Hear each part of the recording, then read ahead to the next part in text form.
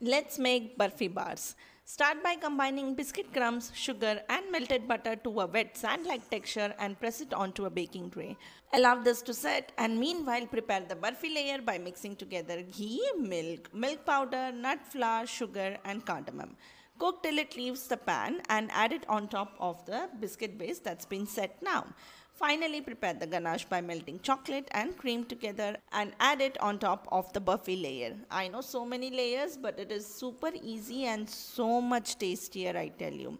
Decorate it with fresh flowers and allow it to set completely. Once set, just slice and enjoy.